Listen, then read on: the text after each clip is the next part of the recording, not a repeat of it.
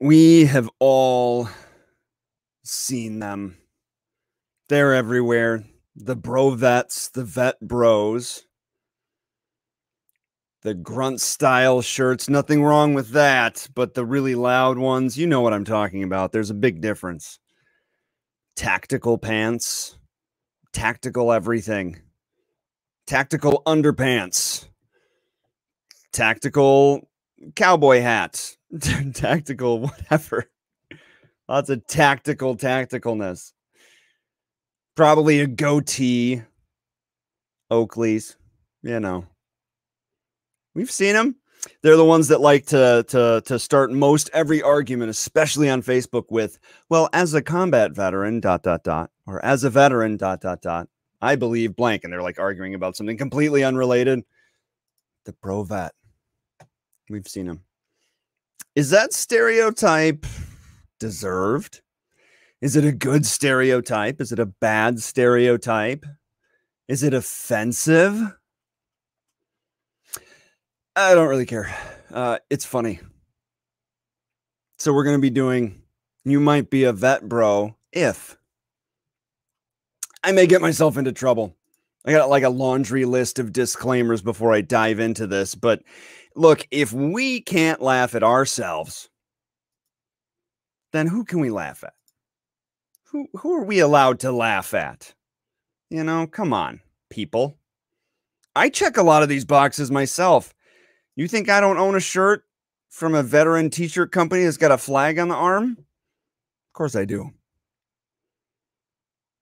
The first time, the, the second I sewed on staff sergeant, I went out and bought a new car. And a loud one, too. I check a lot of these boxes myself. So this is really me looking in the mirror. We're laughing at ourselves. We're having a good time.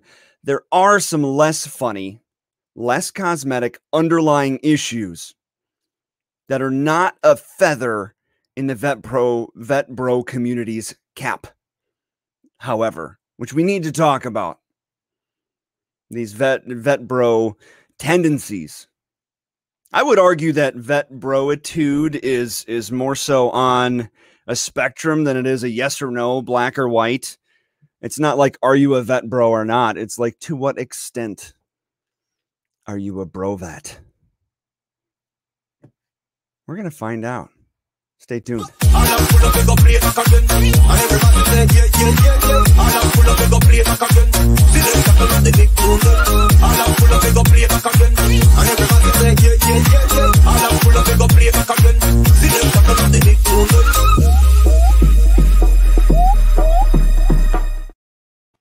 Hey, please throw your comments in no matter what platform you're watching on. I'm live right now on Facebook, LinkedIn, YouTube, and Twitch. I'm going to try to get to them. Uh, I had posited the the whole like you might be a vet bro if thing earlier in the week and got like over a hundred comments. Uh, so I'm to try to get to all of them. Uh, which platform is to get the first comment award on today's stream? I don't know. We're to find out. But first, I need to dive into a couple disclaimers keep my my death threats this week to a minimum. Golly, I'll get so butthurt. So butthurt. I am the first person to defend our community against stereotyping, against categorization, because we are a diverse community, but there are common threads and there are things that are prevalent and they're worth exploring. Some of them are comical because we've all seen it. We've all done it. It's something we have in common. Let's laugh about it. If any of the things that I'm listing listing off here, like if I say you might be a bro vet if blank, and the thing that I list is something that makes you happy, don't stop doing that. Don't sell your Dodge Challenger. Don't stop wearing grunt style shirts. Take pride in your service. And if you like it, you like it. Look, reintegration is tough enough as it is. All right. It, it, it really is. So let's just have a laugh and move on. Nobody's judging you, okay? I feel like I'm really trying to soften this and pad this. There were a lot of people on the front end that were already posting, like, I'm confused by this. Why would you disparage the veteran community? we all have these common threads. Some of us are just a little extra about it, and it's worth a giggle. That's all. not making fun of your nostalgia or your inside jokes or your service. Somebody even came out and said, like, this is clearly a dig on Vietnam veterans. Haven't we been through enough? What? Where on earth did you get that from? Are you a Vietnam veteran that checks all those Brovet boxes? Okay. My dad's a Vietnam veteran. He didn't wear grunt. I don't even think he knows what grunt style is. I'm not a dig on. Why would I dig on Vietnam veterans? You got to be kidding me. The butt hurt is strong with people. An important point, something I saw on Twitter last week as I was doing some research for this, is some argue that failure to adapt goes both ways. You know, you join the military, you're in basic training, and if you fail to adapt, they send you home. You know, if you if you cannot hang in military life, you get failure to adapt and you're out, right? Some argue that failure to adapt when you reintegrate should go that way. If you're 4 years into your post-service civilian career and you're still way too extra as a military person, they should send you back. Failure to adapt as a civilian, you got to go back to being a military member. I thought it was funny, but I don't agree with that. All right, we like what we like. And a lot of these veteran owned companies and veteran owned gear and veteran owned stuff and t shirts and coffee and hats and luggage, whatever, they're very charitable and very supportive of the veteran community. And that's a good thing. I would never try to, like, I mentioned grunt style, but like, I would never try to take money out. That's a veteran. That's a veteran-owned company done good. Like I would never try to take money out of their pocket or disparage them. This isn't about that. All right. Is everybody good? Everybody's all right. Can I go on to the you might be a vet bro if and we can just keep the butt hurt to a minimum? Golly. All right. First one. I got to go first. You might be a vet bro if you park in the veteran parking only spot at Lowe's, even though you saw an open space much closer to the door. Nothing wrong with parking in those parking spots, but if you park in one of those spots intentionally when there's a much closer spot available, might you might be a vet, bro. Might be. Especially if you parked in that spot in your lime green Dodge Challenger that's financed at 26 APR. Justin, hey, Justin chimes in from LinkedIn, which means LinkedIn gets the first comment award for the day. Yay! Ouch. My shirt is a flag in the sleeve right now, but we all need some fun pokes ourselves. Can't take yourself that seriously in life. Like what you like and remember to laugh at your own shenanigans. You know what, Justin? I couldn't have said it better myself, my friend. You nailed it. I should have had you on the front end. I was rambling trying to soften the whole thing, but yeah, we're just having a good laugh. And so there's some great comments on this thread. I'm going to try to get to to uh, to as many as I can. Michael says, "Well, how many?" He replied, "How many E2s go to Lowe's though?" Uh-huh. Was not just E2s buying lime green Dodge Challengers. And Paul added that the 26% APR is accurate, but only if it's a V6 model with over 100,000 miles. Oh my gosh. And the other one for me was if you pick fights with strangers on Facebook and start every completely unrelated point with, as a veteran or as a combat veteran, you might be a brovet. From Casey Lawrence, he says, uh, You might be a brovet if you own and wear multiple grunt style shirts. Start out your intro with, I'm a vet, drive a Toyota Tacoma that's tan on black with the awesome blacked out flag, showcase how much Black Rifle Coffee Company uh, I'm not going to read this. You stuff you like by the amount of coffee you buy from them. Shall I go on? A lot of people really like that coffee. A lot of people really like that coffee. Uh, Moses says if you start out your sentence with coming from a veteran's perspective with other veterans in the class rolling their eyes, a lot of people that went to that went to college with uh, with other veterans, my goodness, a lot of them are guilty of you know being the they're the only veteran in the classroom. So obviously that's got to be a challenge being around a whole bunch of 18 year old kids essentially that don't know anything in the world and you served and you deployed and blah blah blah blah blah but that does not make you a foreign policy expert it doesn't so if you pretend like you're a foreign policy expert on things even things that are happening in the middle east then you might be a brovet Zach uh, adds, it's the equivalent of telling basic training stories because you and your first unit haven't gone anywhere yet. yeah. All right. DJ says you might be a Brovet if you have at least two stickers on your vehicle signifying your branch of service, at least two pins and mini medals, medals on your hat. Ooh. Who puts mini medals on their hat? Goodness, that's pretty extra. Let me know in the comments if you put mini medals on your hat. We got to have a talk. Custom license plate with the cliche sayings like devil dog or hoo on them. Yep. Or fly fight win. At least one service related tattoo larger than your hand that is easily visible in normal clothing. Dude, just at me next time. That's me. See, I check a box. I can laugh at myself. I got like my first week after basic training. I'm going to get a giant Air Force logo on my calf. So every time I'm doing PT with other Air Force people, the Air Force people know that I'm an Air Force person. It's a great idea.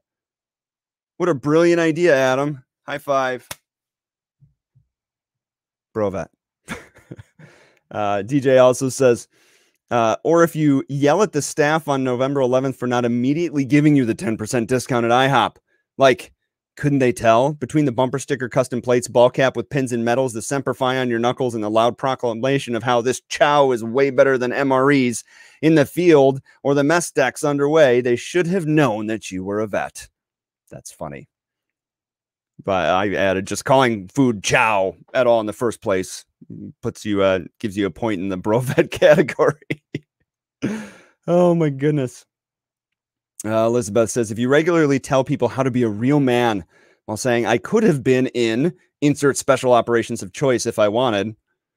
Yeah, a lot of people, a lot of people are like, I wasn't in special forces, but I worked with them all the time. When I worked alongside special forces, if you say that, you might be a brovet uh, Elizabeth adds bonus Brovet points if they're drinking a Monster Energy drink, like it's 2008. Okay, I drink Monster Energy drink sometimes. The white, the sugar-free white Monster is like crazy good. It's even worse if you're drinking a Rip It or like the dollar store equivalent of the mini Rip It cans. You know exactly what I'm talking about. If anybody OE, OEF, OIF downrange, you know what a Rip It is. Absolutely. Yeah. Oh, I guess you can get Rip Its at, at Dollar Tree. Jacob says, hit up Dollar Tree for the camo laced Rip Its. That's funny. That stuff's made out of distilled from pure gasoline, I believe. Kyle says you may have uh, you you uh, may be a brovet if you have more than five military stickers on your Ford F one fifty lifted Super Duty. You know, a lot of people mentioned cars. I think a lot of people identify with their vehicles but I think one of like aside from what you're donning personally, what you're wearing, I think one of the easiest ways to distinguish yourself as a vet bro or a bro vet is is with your vehicle. And Joshua adds, can't forget the truck nuts. I hate truck nuts. That's definitely a bro vet move. But dude, if, if I was running for office, and I've I've said this before and I'll say it again. If I was running for office, my single platform would be banning of truck nuts. I hate them. I'm not a fan of truck nuts. There's something about them that just rub me the wrong way. No, that would be my single platform. Somebody mentioned I can't get past the. I had shared a meme that was like the "You're you're welcome for my service starter pack" with "your" instead of "your." Yeah, it's part as part of the joke. Come on, man. All right, somebody mentioned 5.11 pants. I have no idea what that is. Maybe I need to up upgrade my tactical pants game. 511 pants. Gary's like, I'm rapidly removing my cargo pants and boots. He's wearing cac Cole's polo instead of a 511 polo. He's admitting to being a brovet. You know what? There's nothing wrong with that. I like you just the way you are. You be you, man. You be you. Benjamin says your tactical backpack that you carry everywhere has extra Velcro sewn on for all of your for all 50 of your morale patches to be displayed at once. I have a camo backpack that's got my name tape on it, but that's about it. Yeah, so I I, I kind of check that box. Jacob says you might be a brovet if your vehicle is plastered with bumper stickers and decals showing your rank, bases served, service medals, and dependas rank. Brutal. Dependa rank. My goodness. And Lee added, maybe you shouldn't throw around a word like that in a public professional space that includes military spouses. use of toxic stereotypes is more brovet than all the coyote tan accessories, grunt style tees, and beards combined. Okay. All right, man. we're we're clearly tongue in cheek here. It's not a toxic stereotype. I'm going to talk about this the toxic side of being a brovet at the end. Lee, if you're watching, we can have a dialogue about that. Hang in there. If you have the Oakley sunglasses with the global war on terror ribbon along the side, like the GWOT, whew, you might be a brovet. Uh, you regularly wear Navy SEAL diving shorts, and you weren't even in the Navy or any branch, and you can't swim. That's from Bob Mahler. Yeah, that's I would be I would uh, be showing a lot of thigh, a lot of big pasty thigh in that. I wouldn't I wouldn't subject anybody to that really. oh, Wes says they're called Ranger panties. All right, I didn't even know. Uh, Zechariah says you feel that you may be a brovet if you feel the need to quantify your change in physique. And I added, yeah, if you call any kind of exercising or going to the gym PT, or pretty much use acronyms for anything. You might be a brovet. My buddy Cody, who I went to high school with, who was not a service member, but is a long-standing police officer uh, back in my hometown now, has had a very successful and storied career. Uh, thank you for your service, uh, Cody. He says, Have you been looking in my closet? Non vet, but this is me. See, you can be an honorary bro vet. Jacob says, if you ask for military discounts at your local McDonald's, I don't think that makes you a bro vet. Asking for discounts. I'm a big fan. Like, you earn that. Getting in somebody's chili because they don't have a military discount, that is a bro vet move. You're not going to give me 15 cents off of my coffee. Do you really care about my service? Lame. Bro vet. Check mark.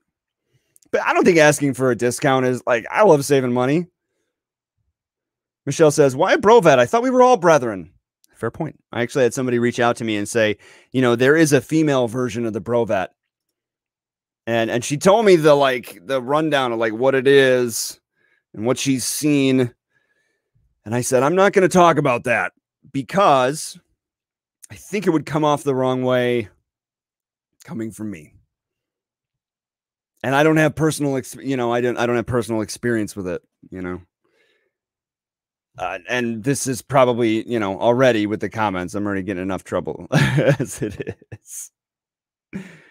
Uh, Christopher says you might be a bro, but if you do everything to look like you're still in and then get upset when people notice. Wow. Jeremiah says you might be an inspiring LinkedIn influencer if you post seemingly controversial posts like this. Good one. People. You got me. Jonathan says, Where's all the hate coming from? Just curious. It's no hate. Literally no hate. Andrew says, uh, I have the hat and some grunt style clothing. If I grow a beard, I look like Santa Claus, so no beard for now. Michelle says, if you routinely just cut in front of the women at the VA because you're confused as to why we might be there, you might be a brovet. Michelle, that's a good one. Really good. Michelle's a buddy of mine. We've been connected for a long time. It's a really good one. And then uh, Lauren adds, uh, I walk in like I own the place. However, I get funny looks if I wear a dress and no one asks what unit I was in, but they'll ask the dude next to me. I never thought about that before that must be very frustrating for the female service members out there. Michelle says that happens all the dang time. It's infuriating. It's one of the reasons why I drive farther to go to the women's clinic. Clinic. I don't. I don't think I've ever been asked about my unit. Now that I think about it, that's crazy. Guys will sit down and ask that to to other dudes, but just assume that a female is a spouse. It's lame. If you assume a female is a spouse, that is vet bro move. Bro, that. More stuff about cars. More stuff about cars. Everybody's yeah. I guess the car the car is the best way to display that you're a pro vet. Oh man, just a lot of comments of people that are getting butt hurt. Let's see. You're the person telling uh, from Thomas. You're the person telling other people online and in person that your very narrow definition of just about anything is the only way to believe things. Be a man or be an American. Yeah. If you think if you think you have uh, a monopoly on what patriotism is because you served, you talk like you represent all veterans. You might be a brovet. That's kind of more in the later category. The not funny brovet stuff we're going to get into shortly. Hmm. Some of these comments are ridiculous. My goodness. Brian says you have the entire contents of your DD 214 along with every unit you served in on the rear windshield of your car. Probably a truck. The icing on the cake is all of that plus a thin blue line sticker and a Punisher logo.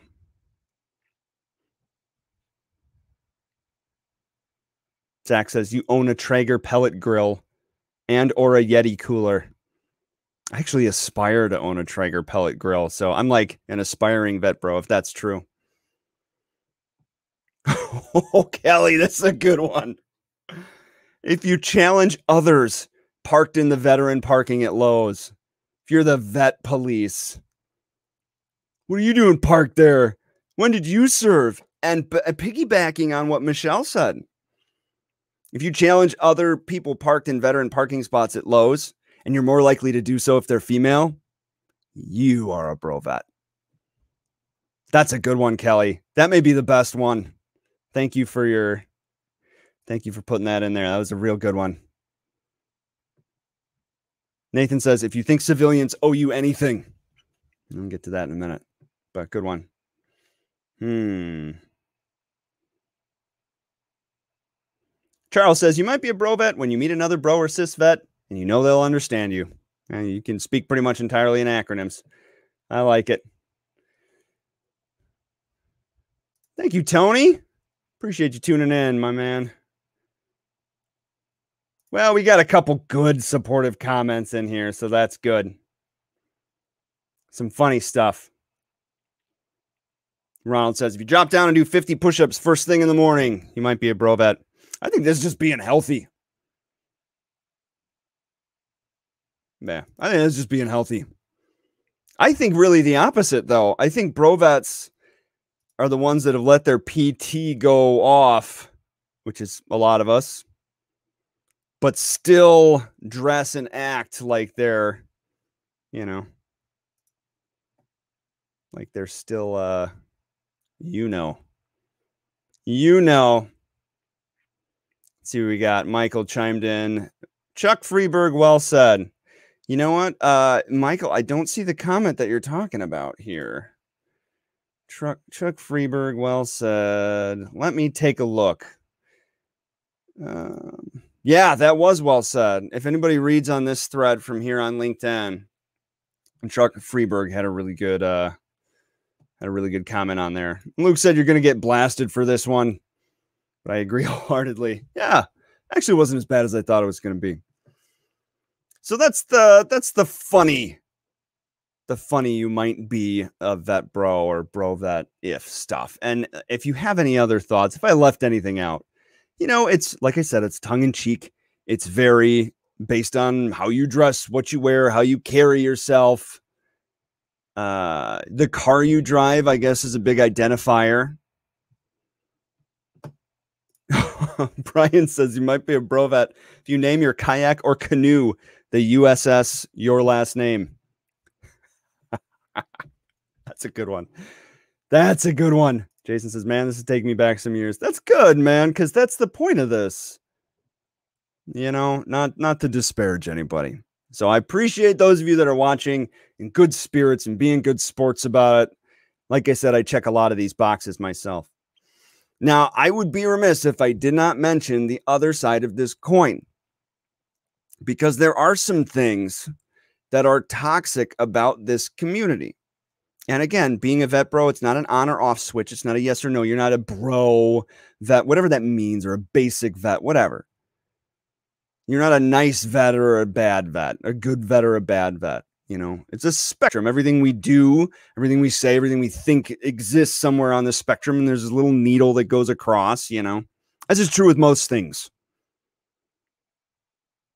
It's true. You're on the spectrum somewhere at all times. Um, there are some things that are common threads in the community that are not feathers in our cap, like I said earlier. Something that, if you do these sort of things, that would lead somebody to say, oh, basic vet, bro vet, and roll their eyes and think negatively about our whole community. People can't help but stereotype, it's in their nature. And it makes everybody look bad. Uh, Kelly's comment earlier that if you challenge other veterans in the parking lot at Lowe's, you know, we see your DD 214. Did you really serve?